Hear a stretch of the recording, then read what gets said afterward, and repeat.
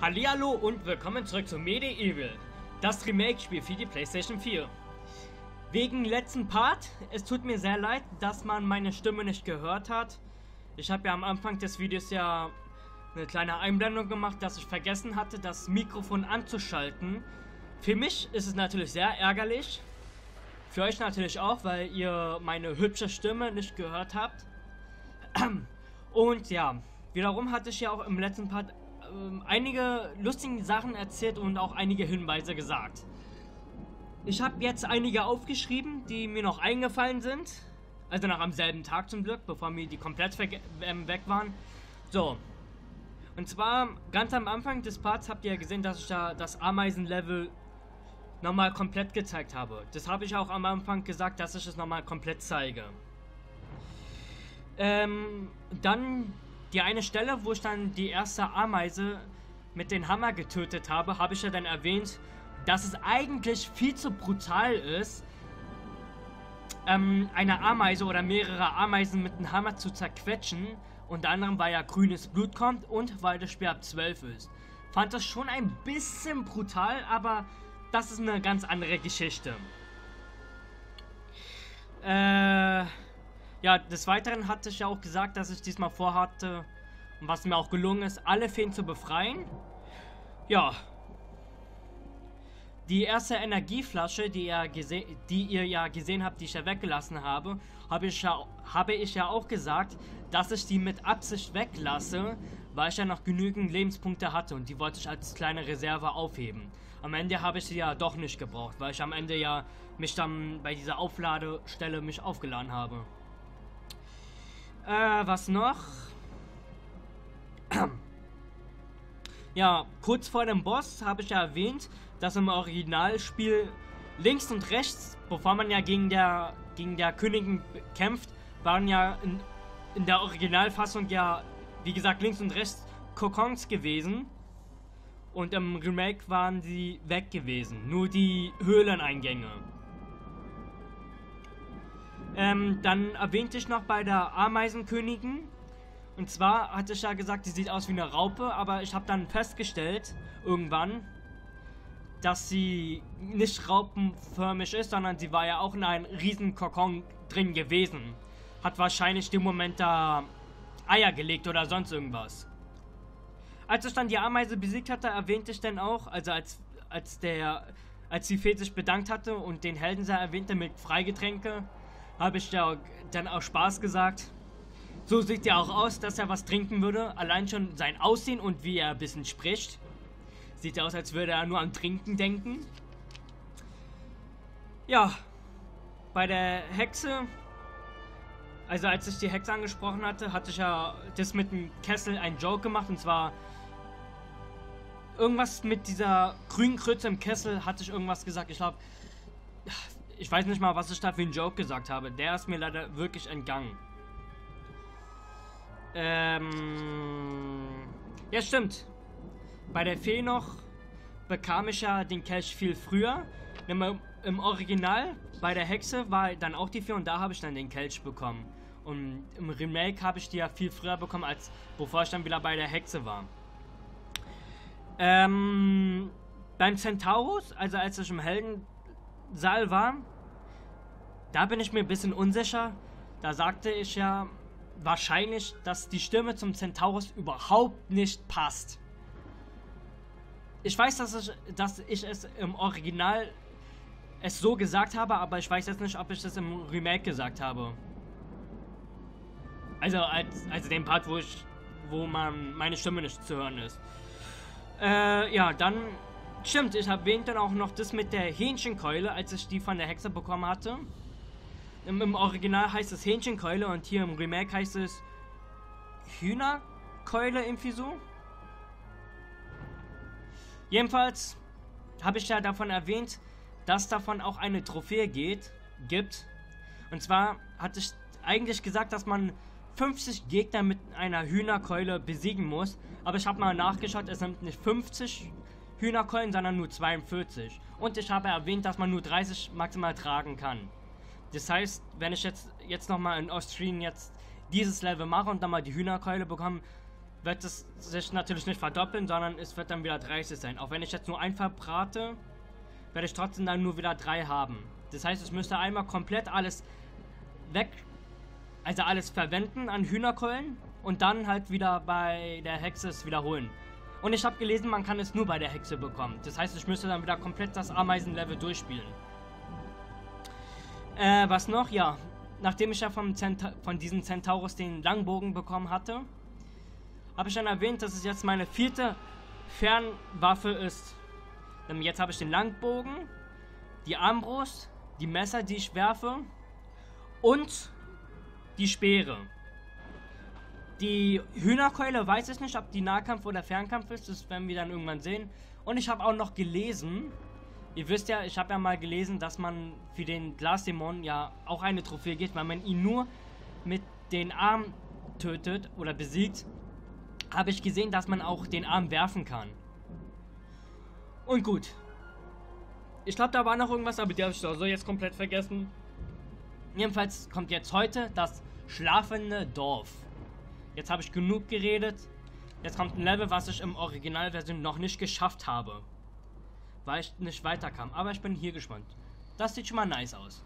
Diese Stadt war einst so lebhaft. Was das Gegenteil von lebhaft? Todhaft? Ja genau, das ist die Stadt jetzt. Ich habe dann noch gelesen, als bei den Trophäen, man soll ja die Dorfbewohner nicht attackieren, weil die ja gut sind, die wurden ja nur böser gemacht. Ähm, ich habe noch gesehen, wenn man die ja, wenn man ja diesen Turbo macht, um schneller zu sein, sollte man die auch nicht anrempeln. Denn wenn man die komplett nicht einmal berührt oder so, dann kriegt man auch dafür eine Trophäe. Ich habe auch noch gelesen mit den Na Nagatieren. Der Meister beherrscht die Dorfbewohner, tut ihnen nicht weh. Aber den Wachen die sind auf der Suche nach einem Machtobjekt. Ich habe am Anfang nicht verstanden, welche Wachen, aber die kommen ja später, glaube ich.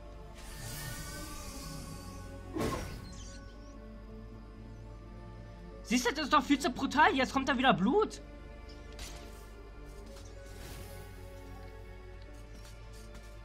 Das Gute ist, hier kann man jetzt alles viel besser erkennen. Als im Original.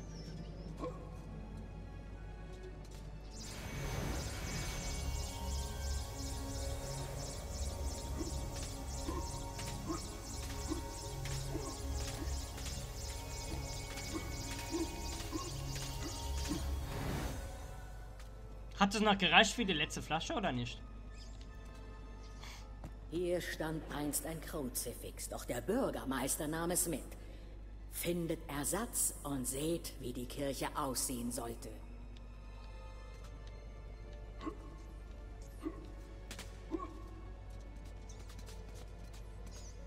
Und ich meinte eigentlich mit diesem Schnelllaufen das hier. Man sollte damit die Dorfbewohner nicht anrempeln. Und wie gesagt, dann kriegt man eine Trophäe. Und es sind verdammt viele.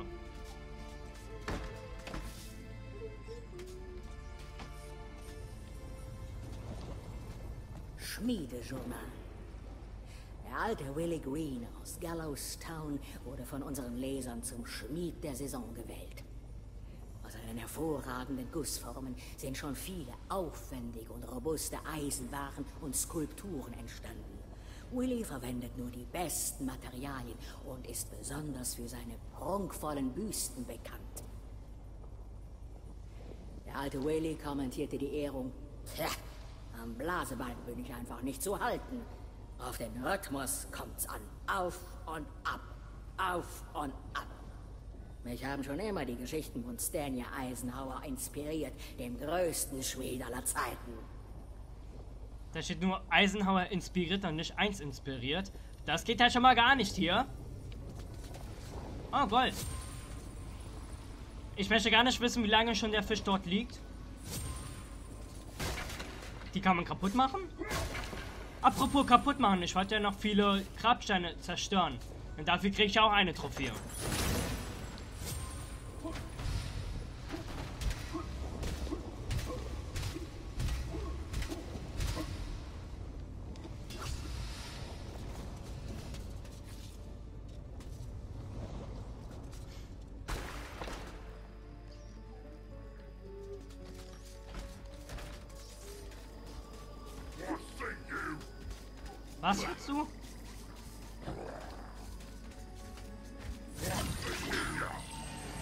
Seh nix. Der ist verrückt geworden. Oh, fuck, ist er schnell. Lass mich in Ruhe. Ich bin nur ein Skelett. Der sich bewegen kann ohne Muskeln.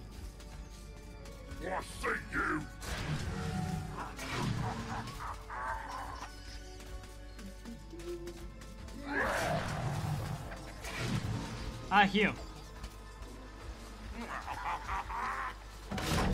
Sag mal, ist er lebensmüde?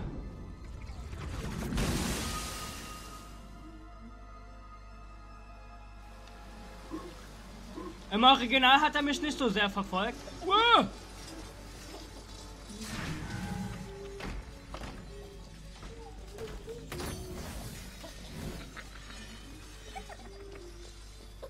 Der Runenschlüssel wird vom Brunnenwasser oben gehalten.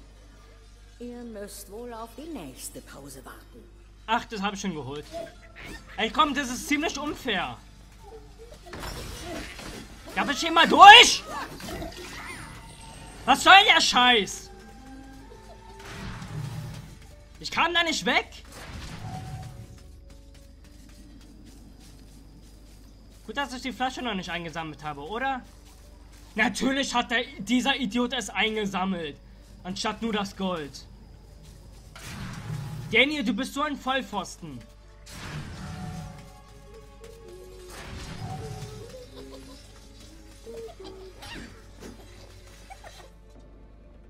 Oh nee, nicht hier.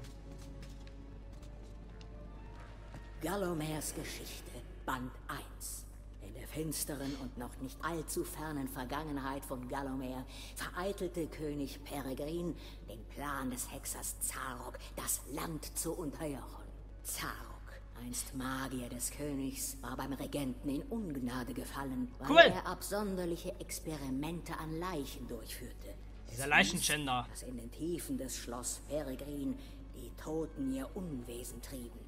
Die Toten verdienen Ehrerbietung und dürfen nicht das Spielzeug von Alchemisten sein, erklärte König Peregrin und verbannte Zarok aus dem Schloss. Zaroks lebende Tote wurden aufgespürt und vernichtet. Der nachtragende Zarok tauchte unter und schwor, dass er sich am König rächen würde.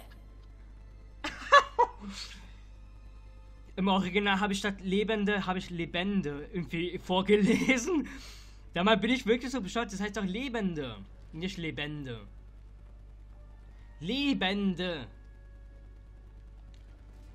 Ich wusste doch, dass ich es irgendwie falsch ausgesprochen habe. Gallomers Geschichte, Band 2.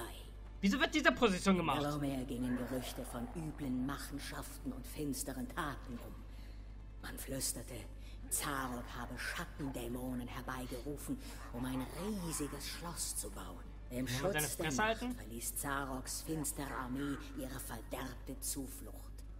Die Armee marschierte nach Süden durch die Silberberge und den Silberwald. Bald darauf gehörten selbst die Kürbisgebiete Zarok. Oh nein! Bewohner von Gallows Town riefen um Hilfe. Rettet uns, König Peregrin. Vergeltung folgte rasch und schonungslos. König Peregrins Truppen unter dem tapferen Sir Fortescue Yeah. verjagten Zaroks Armee aus Gallows Town. Die Freude war groß, doch der Krieg war noch nicht vorbei. Ist euch schon mal aufgefallen, wie Fortescues ähm, Rüstung immer hin und wieder mal wackelt? Und hat er nicht einen knackigen Popo?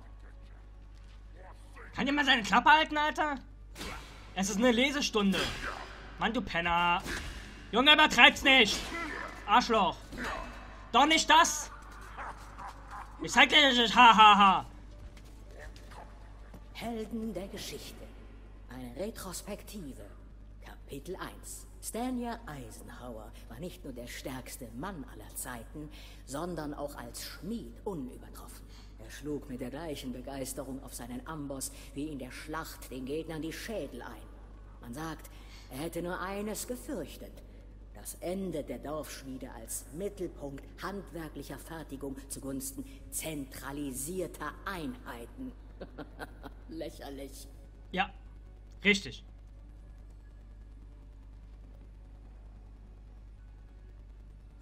Kapitel 2?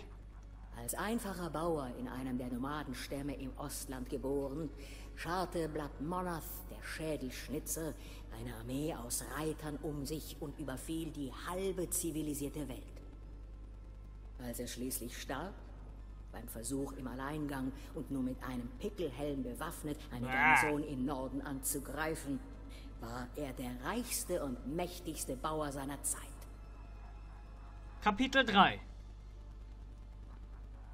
Kapitel 3 Jetzt liest doch mal vor, du Kuh. 3. Karl Schildgard verbrachte den Großteil seiner Jugend im belagerten Familienschloss. Er besaß einen unbezwingbaren Zauberschild und folgte dem Motto, Verteidigung ist der beste Angriff. Leider schützte sein Schild ihn nicht vor seinen schlechten Essgewohnheiten, und so starb er bei einem Festmahl nach einer Schlacht, als er eine Wurst im Ganzen verschluckte.